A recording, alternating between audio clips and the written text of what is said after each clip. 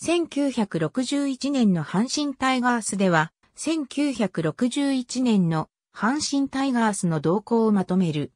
この年の阪神タイガースは、金田正康監督の2年目のシーズンであり、チーム名が阪神タイガースに変更された初のシーズンである。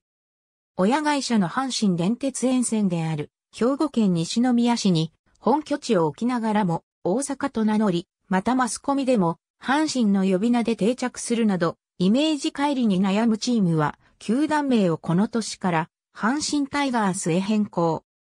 法名は前年、胸番号が追加されたこともあり、変化はなかったが、ビジター用は長く使われた大阪に代わって阪神ロゴに変わるなど、マイナーチェンジが実施され、また胸番号の形状は背番号と同じに変更した。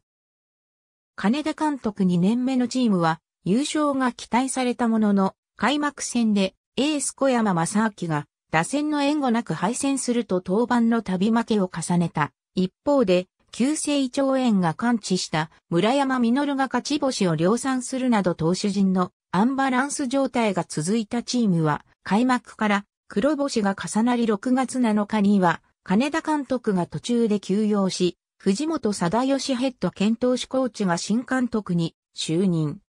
金田の後を継いだ藤本新監督のもと、チームは8月以降巻き返し広島や対応を抜いて4位に浮上したが、1リーグ時代の1949年以来12年ぶり、そして阪神タイガースとなって初の B クラスでシーズンを終えた。